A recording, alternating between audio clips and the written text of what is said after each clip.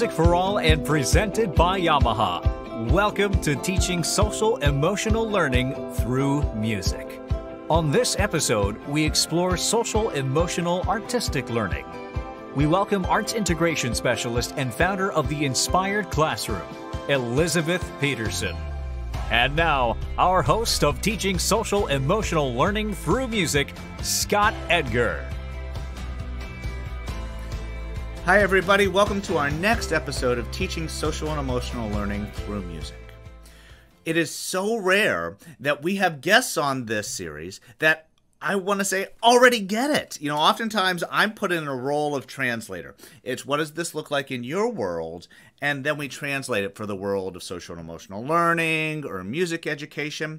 Well, friends, we're in for a treat today because we have Elizabeth Peterson here who has created one of the most incredible models for embedding social and emotional learning into arts education. And we talk about just an unbelievable journey and how this is going this message will resonate with so many the journey that Elizabeth has had is going to be perfect and a message that we all need to hear. Elizabeth, thank you so much for joining us. Yay! Thank you, Scott. I'm, I'm really excited to be here with you and uh, talk about something that I know is really near and dear to both of our hearts and all the listeners as well. so like-minded, so like-hearted. This is one of those special moments where I think we're just going to have a lot of fun. So, Elizabeth, awesome. I know that you have a background in music education, but that's actually not the world you're living in right now, right? You're a general no. education teacher. So, tell us a little bit about your journey from you, you know maybe from the beginning of you know what was your inspiration to be an artist a musician and all the way up until now with seal yeah, well, I won't start from the very, very beginning, where, you know, it was second grade starting off my piano lessons and all that. But when I became a senior and, and I did my massive senior recital in high school, I knew that I wanted to do something with music. I couldn't just let it go. I also knew I wanted to be a teacher. However, I didn't want to be a music teacher per se. I wanted to teach all the subjects. And so when I decided to go to um, college and was figuring out my major, fortunately, I had to have a second major as an elementary ed teacher. And so I made that music. And I just wanted to learn everything that I could about music in college. And I and I was set on that path. And so um, a lot of the my my uh, peers kind of looked at me odd you know why are you just a music major? Why aren't you in performance? Why aren't you in music ed?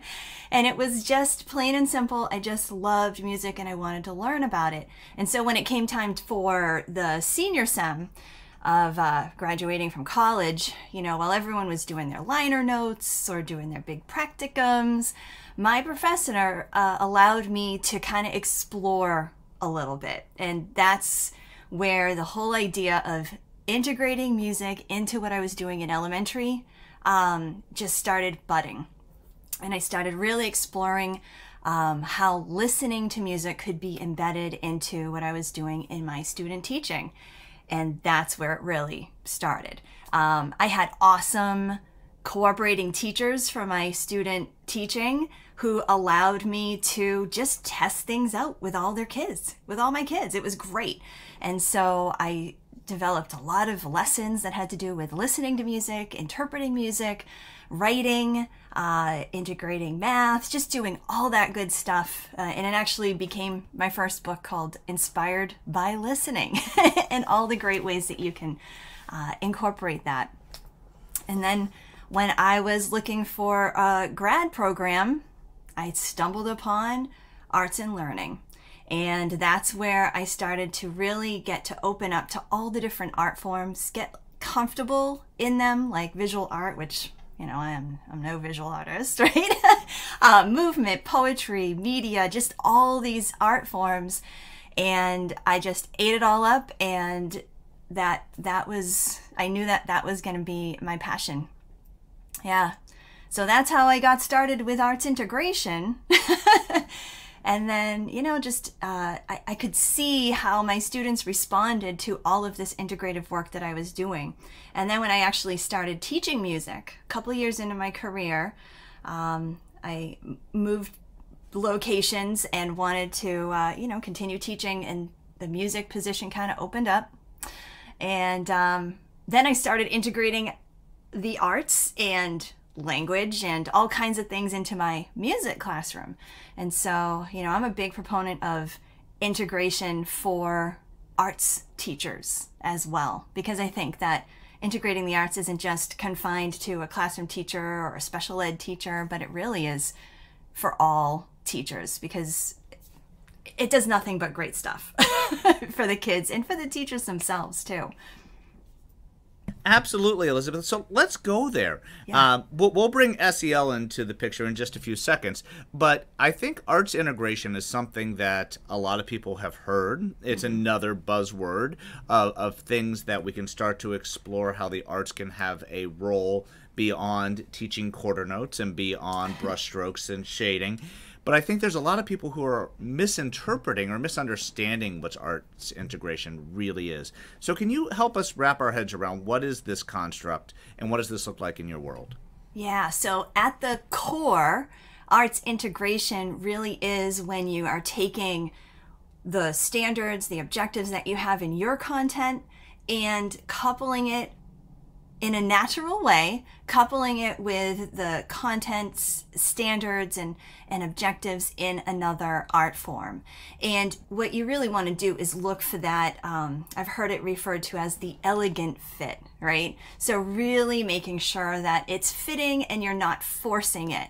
Um, for example, you know, if you, uh, you know, if you have a group of students that are learning about weather and the clouds, and you know that you have music that you know is inspired by clouds and weather. And I, I know there's music out there that that is composed for that you know to to find something find um, movement standards find things like that that you can integrate connect uh, very just naturally with it.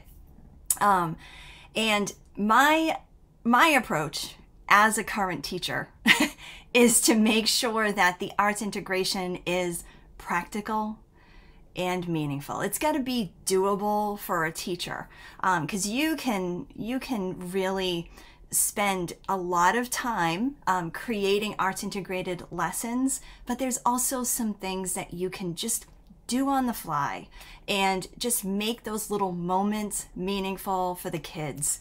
Um, and I have, you know, a lot of those kind of resources. One is like, uh, it's called arts integration in your back pocket and just pulling out little strategies that you can use at the drop of a hat in the moment, um, something really quick so that your kids are able to dig into your content, but they're also doing something creative and artistic. I adore all of this, Elizabeth. Yeah. So, you know, you and I both, um, I think, identify primarily as a musician in terms of an artist. Yeah. Um, I would say second for me would be theater, uh, and then dance and visual arts probably would be a few train stops back. Yeah. Uh, from from that perspective, though, when you're doing your work on arts integration, how much do you try to think in terms of multi modal arts or as opposed to just one artistic competency? Oh, yeah. Uh, multimodal is going to happen. like with that cloud thing, then you can start drawing in visual art pretty quickly. Um, and something that I know a lot of teachers have a hard time with is, well, I'm not an artist. You know, I, I'm not a visual artist. Well, neither am I. But, you know, I can't let that fear or that uh, limitation that I think I have limit what my students are capable of. I've had so many times where, you know, um, a student is showing interest in doing something or trying. Uh, trying something and it's something that I can't fathom doing, like creating a whole, you know, landscape of the sky, whatever it might be. And, but I'll just say, okay, well, let's, let's give it a shot, right? Because even though I can't imagine myself doing it doesn't mean that the kids can't. And and you know, my classroom is supposed to be this safe learning environment where kids can take risks, make mistakes, try things out. And I think that when you have that, I call it an arts integration frame of mind where you're just open to allowing your kids to try a few things, um, amazing things will happen and it positions the teacher in a space that we don't need to always be the expert. Yeah. You know, oftentimes we hold our students back when we think, oh, I'm not a visual artist, so we can't do visual arts in our classroom. Yeah. Uh, you know, the same is true for our music educators. Oftentimes we see this as a roadblock in composition or improvisation. It's, oh, I'm not a jazz musician, so I can't help my students learn how to improvise. And it's our own roadblocks that prevent our students. Elegant fit. Uh, not only am I in love with that phrase, I'm going to steal it because it so away. perfectly it so perfectly captures what we're looking at for SEL. You know, where is that organic moment of confluence where we can take our music education objectives and our SEL objectives. And you've given us some insight in terms of how we can have a third layer to this to really start to come together and give us something that is really cohesive. So we're going to meld everything together in just a second. But in Yeah. your world, I, I know SEAL, as we start to unpack what this is going to look like, and we'll explain more about that in just a second. Sure. But SEL has come um, as something that is really important to you. So, what does social and emotional learning mean to you, and why is music education the right place to explore it? Whew. Well, that's loaded. Social. well, you know, you've got the definition of social emotional learning, right? And it, what it boils down to is how you deal with your own emotions, how you deal with your own self, how you work with others, how you make good decisions, right? And yes, that's based off of CASEL's competencies, and I think that they do an amazing job of just putting it into good basic terms for teachers. Um, and let's see, what does it mean to me? Well, first and foremost, it has to mean something to me because my kids need it so badly. And it's not just in recent years of the pandemic, but it has been building for a decade maybe a little more.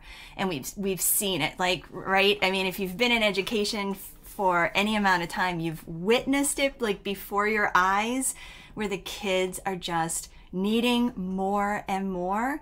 Um, and some of it is in your face with classroom outbursts and some of it is subtle and is just so internal inside your kids. And so for me, social emotional learning is just a necessity. And if we're going to survive as teachers and as educators, we've got to figure out a way to kind of uh, transform how we do things. Um, and that's why uh, SEAL came to be because when when the administration started talking to my district's staff about oh this SEL thing and how we're gonna we're gonna start doing SEL, um, you know all I could think of as she was like un- unrolling all this information about what social emotional learning is, all I could think of was everything you just said we can do with the arts. Absolutely everything. There's so many applications. And so with so yeah let's talk about music right? So music is like the ultimate uh, you know i think personally because it's about well first of all you've got you've got being able to listen to music perform music compose music and music is so innately emotional. And it doesn't matter what part of that process you're part of it's it just becomes part of who you are and what you're doing and your experiences and let me just see this this amazing quote by Louis Armstrong what we play is life and I think that just encapsulates it because it can be what we're playing on our Spotify account. It can be what we're playing out our horn. It can be what we're playing with others in a in an ensemble. And it just represents everything that is the human existence. So it's got that self part. And then of course, music is so innately social and it builds relationships like crazy. Um, I've, I've always dabbled in my uh, music classroom and then also in my general ed classroom, dabbled with um, drumming circles or percussion circles. And it's just like this instant relationship builder, this instant community builder.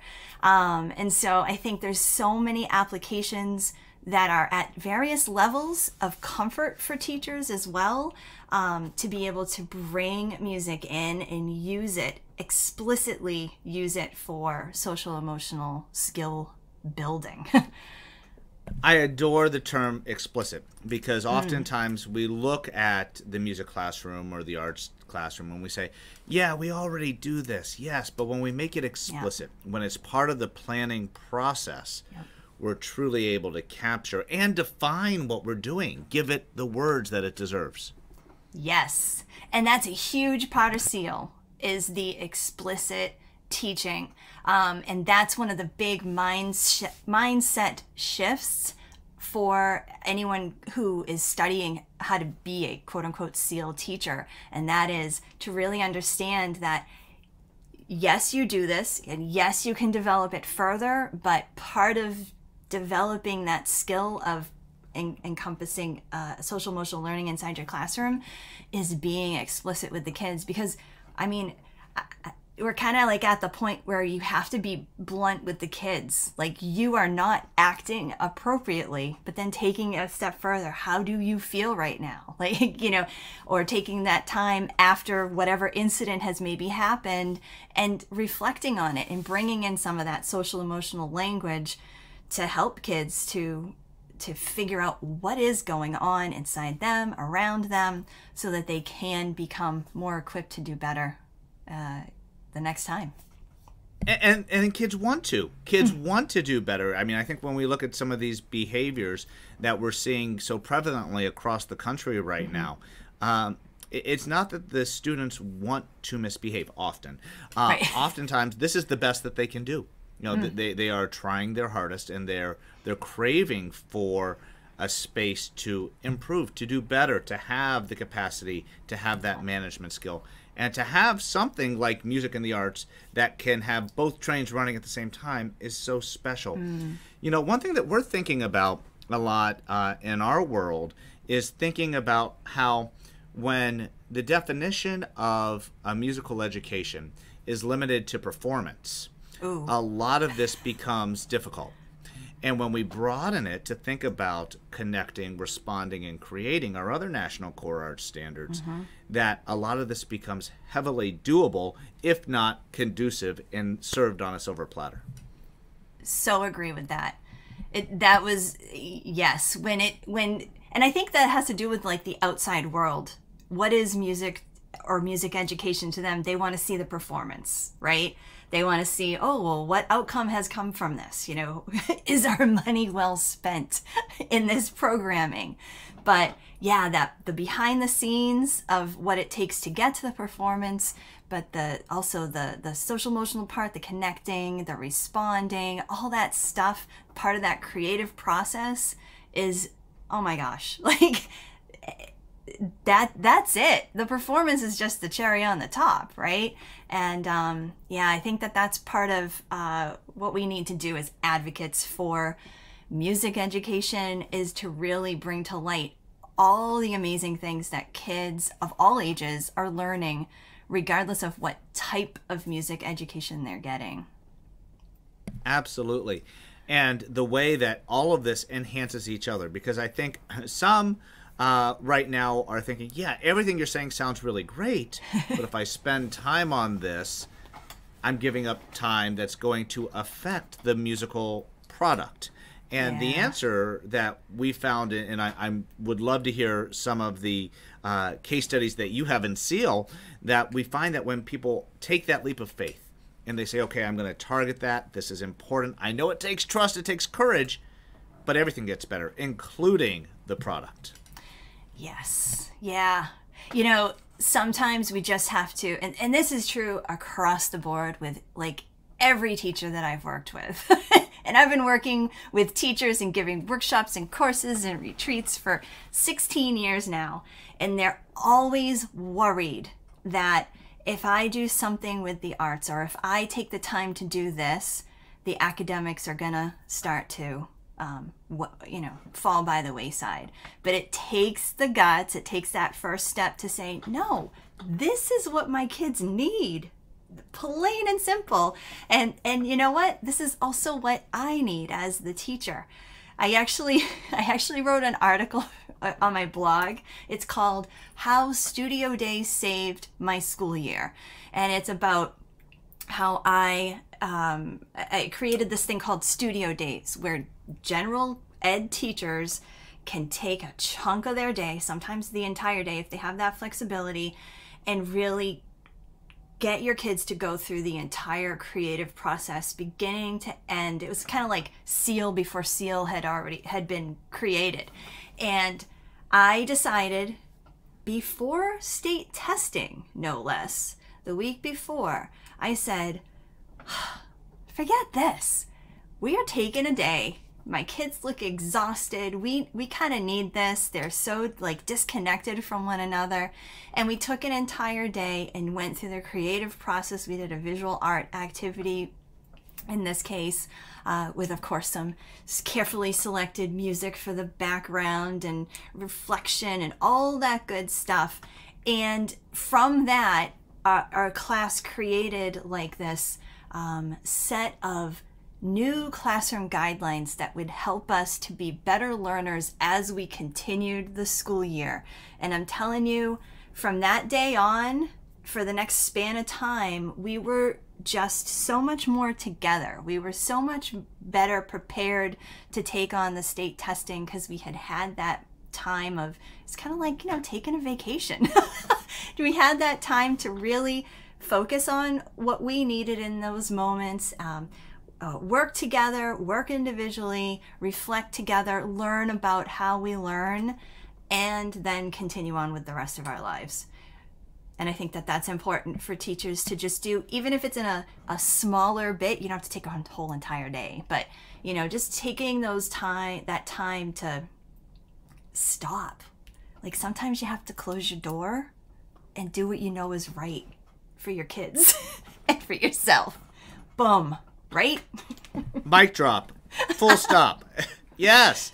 You, you, know, I mean, it, and, and for me, I had a tangible moment in rehearsal on Monday when we have a concert coming up on Friday, and there are some things that aren't lining up how, you know, in an ideal world, I would want them to line up.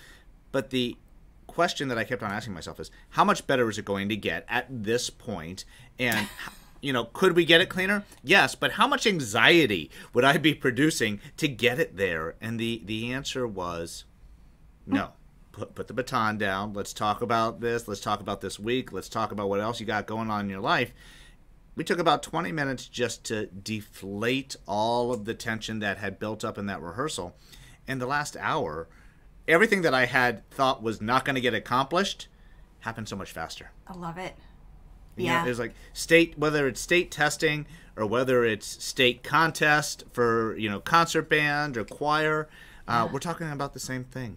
Exactly. So tell us tell us about seal oh i can't wait okay uh, such such such great work coming from you and your publications and your blog and we'll make sure that we put all of those in the liner notes for this episode awesome. but please tell us about seal all right yeah so seal stands for social emotional artistic learning.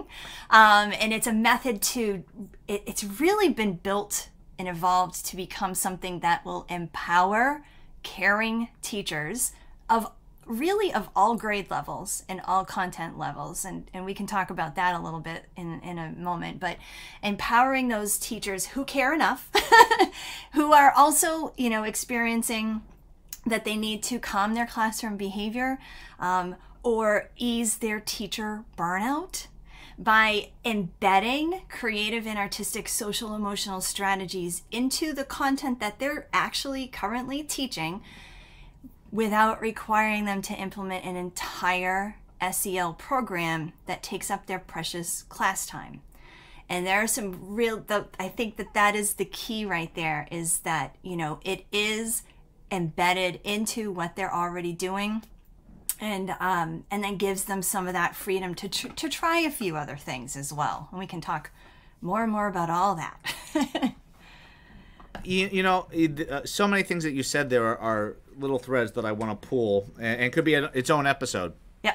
um, my first question is because I firmly believe that no matter what we're doing with SEL, we need to realize that the teacher uh, and the adult SEL and the space that we're bringing into mm. the environment needs that. That's part of this equation.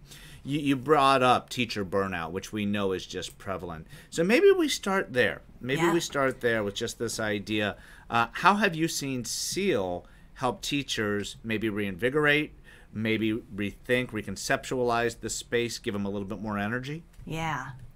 It's been amazing. Like, SEAL started as a bunch of activities and strategies that teachers can use, and it's evolved into the whole first phase of the training, so to speak, um, is all about the teacher because the teacher is by far the most important part of the classroom. And I think that's what administrators need to start realizing that it's not about the program, it's about the teacher period. Um, and so that it so it takes that idea of the teacher being in the front, uh, in, in, contact with the, the kids day in day in day out all the time, and really helps them to see their importance, to understand what their role is, give them some tools to really wrap their brains around that because that's pretty heavy, right? It's pretty heavy stuff, especially knowing the kinds of needs that our kids have um, and giving them some tools. Um, and I think I mentioned before some mindset shifts that can really help them. Um, and the teachers that have gone through the course um, will say things like, you know what? It doesn't change the tough days because they still come, but I can handle it. I've learned, or they might say, I've learned to really set my boundaries and it's made a huge difference. And just those kinds of things that, that quote unquote teacher self care, that, that type of stuff is just so important. It's being thrown around a lot, you know, and, and that's kind of, uh, that can kind of minimalize it but if we get to the core of what that actually can look like, it can make such a huge difference. So it's not about, you know, going to a yoga class and just taking a couple of deep breaths. We're talking about real stuff here. One of my favorite quotes that I've seen bantered about, because I do believe, uh, agree with you, that self care's almost been weaponized. It's almost been mm. like, hmm. oh, so why don't we have you take care of yourself so you can be productive again? As opposed to, self care because we need it. Self care yeah. because if we're bringing all of this tension and, and burnout into our educational spaces, and we see our students elevating, we think those two things are not related. Absolutely. Right? When we're bringing tension into the space, you know, we have a five year old in our house, and I am the first to admit that when my elevation of emotion gets up to like a, a high space, and he, you know, we start to get a meltdown, Come on, Scott. Those two things are related. Yeah. Uh, so absolutely, as we're seeing this, all of these mindset shifts. So you mentioned those mindset shifts. Yeah. Let's go in that direction. What else uh, are our key uh, tenets of SEL from a mindset shift perspective?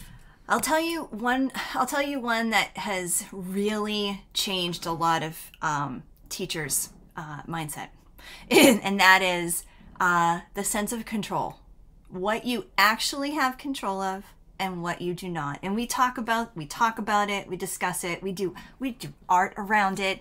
I mean, this is like, you know, I, am a huge proponent of teacher-centered professional development. So my SEAL teachers, they go through stuff that's for them. It's built for them. And so we talk about control and we and we really investigate like what are certain things that you do have control of in your classroom, in your school, with your administrator? Uh, what are things that you can just let go of because it's just not going to change? And what do you have control of, and what can you start to change to make just life better for you, um, and and uh, be able to survive in your classroom on those tough days? And what can you let go and walk away with, walk away from? Because um, I'm gonna I'm gonna say this, and uh, some teachers may be offended at first, okay, but as teachers, and I and I see it, I've seen it in myself, and I've seen it in colleagues and peers over the years, and I've worked in a few different schools and and everything. But some teachers will dwell on speculation or they'll dwell on problems that are happening that they just don't have any influence on or just don't have any any um, uh, any control over at all. And they tend to go down rabbit holes and you can it, once you know this and you can look for it you can see the overwhelm and the frustration just go up. And then if you have a group of teachers talking about this it can get even harsher. And that's not to say you can't talk about certain things but when you talk to it talk about it to a point where it's it's affecting you that's when it becomes unhealthy. And you have to be able to see that in yourself and and be able to either physically walk away or kind of just start to shut down the conversation in your head and walk away from it mentally let it end and then know that you've just taken care of yourself that self-talk though and that process mm. and you know exactly what you just said it's a skill right? That doesn't happen on accident. It's not uh, a switch that you flip. You have to have that in your toolkit to be able mm. to de-escalate that temperature. Absolutely. So powerful. So you know we, have kind of focused a little bit on you know the teacher side of the equation. So for a teacher who really wants to go in and talk me back if I'm not approaching this the right way. Sure. But if someone wants to get into the classroom and do SEAL, yes, what would that look like? awesome. Yeah. So we have a whole slew of different strategies, and I think I mentioned, I know I mentioned that it really works for all grade levels, all content areas, because I'm a firm believer that if a teacher t- attends professional development they are making the modifications in their head. And I think the arts um, are certainly a vehicle for being able to modify and adapt it to fit the kids that are in front of you for whatever content they've got. Um, and so, first and foremost, we have embedded strategies. And these are strategies that you can use um, anytime, all day, um, just about every day um, things that just become part of your classroom culture. Um, for example, um, movement, right? Okay, so being able to move and get your body ready for learning. And I do this absolutely every day with my math group because uh, as a third grade teacher, um, I'm fortunate that my team uh, allows us to uh, move from math groups so that we can group kids who need the same thing. And I, I think that's an amazing thing to do, even as early as third grade. Um, but because they're shifting classrooms, which is, you know, a new thing for third graders, we get ourselves in the mood for math with movement. And we do a whole series of, and it's quick, a whole series of movements. And because it's become part of the culture of that class, it moves quickly and it does the job. It gets them ready and focused and into their into their seats and ready to start listening to the teacher. Um, and you know we can integrate the movement with uh, math moves you know so we're making parallel lines and we're stretching and we're standing like an isosceles triangle and just you know we're bringing in all that good vocabulary but we're also getting our bodies ready. So there's those embedded strategies that work uh, for music, it's soundtracking and being able to use the right type of music at the right time. Um, and that takes training, especially, if, you know, it takes training regardless of, and planning and, and getting, you know, the right kind of music to soundtrack your classroom. But um, that is probably one of uh, the teacher's favorites is being able to utilize music in a real purposeful way. Um, and and just help their students with the different ways that they need to be during during a class time or during their during their day. I absolutely love the teacher agency that I, am hearing right now. That there's not one right way to do it. That there's there, there's these approaches, these ideas, and that the teachers are able to make that organic in their own space for their own levels, for their own individual student needs. Yes, yeah, and I think that's hugely important because you've got different teacher, uh, not just subjects and grade levels, different personalities, different teaching styles, and of course, different students in front of them. Like I, I remember as a music teacher and even as a classroom teacher, every single year, you know, you get a new class or every every 45 minutes, you get a new class and it's like it's a brand new class. It could be 6th grade after 6th grade after 6th grade, but the classes kind of get their little personalities and you have to deal with them differently. And so what you you start to understand, you know, okay, I need to find something that's going to work for this class and then something different for the, the, next class and it just gives you gives you that arsenal of um, ideas to to make it work that toolkit absolutely yeah. it expands that toolkit perfect you know one of the things that that we're champions of is we, we say for SEL and arts education to be uh, really powerful, it needs to be embedded, intentional, sustained. Those are the yes. three big things that need to be present. We've heard you talk a lot about the intentionality. We've heard you talk about how it needs to be embedded into a way that you say the elegant fit. Absolutely. What would be your answer to this? How much time needs to be devoted to SEAL? Gotcha. and yes, so when you get yourself equipped with that mindset and the embedded strategies that are going to work it could literally be if you're in a if you have just a class it could be the five minutes it really really can be and the trick to that has to do with your sustainability is consistency you can't just do it once and say oh well that was okay or do it once you're like that was amazing and then forget about it and never do it again or do it once or twice and go, these kids hate this. I'm not doing this again. You have to be consistent. You have to kind of like be the teacher that is playing that entrance song when they come in, or you have to be the teacher that allows the kids to get up and stretch so that their bodies and their minds are ready for learning. And once you have that consistency, that's when those strategies literally take one to five minutes tops because the kids are in that type of routine that really works um, works for all of you. Right. So these little nuggets that then get strung together, right? So it might just yeah. be the end, and then it starts to be part of our culture, and it that's does. when I think it starts to just become something really special. Uh, Elizabeth, I know that all of our listeners and viewers right now are saying, "How can I get more information? How can I get more information about you and SEAL?" So where can we go to learn more? Excellent. Yeah, so I have a great resource that I think your listeners will enjoy.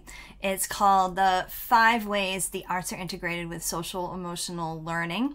Um, and you can get it at theinspiredclassroom.com forward slash five, the number five, ways. So five ways. Um, and it's a great uh, resource. It's got some activity ideas for all four major art forms music, dance, drama, and music, dance, drama, visual art, with all five of the um, CASEL's competencies. So it's got some activity ideas and it's also a tool for advocacy. So there's a lot of great information and there's also, um, it's almost like a, uh, a little place where you can kind of think about how can I personally advocate for this stuff because it is just so important. Um, so, you know, if your colleague or your administrator walks by and kind of gives you that eye of what is going on in here, you you've got you've got the you get the response. That's my favorite moment. If someone looks in my classroom and says, "What's going on?" I know I'm doing something right. Yeah. Uh, one of my favorite quotes is um, I can't remember. I wish I could remember the book I found it in. Um, but it was something like um, your classroom should sound like a really good cocktail party.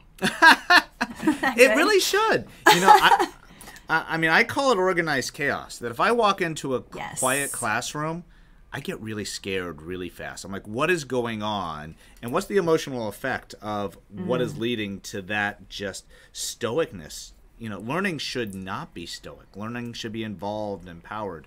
Oh, yeah. Uh, Elizabeth, we are so, so on the same page with everything that we've been talking about today.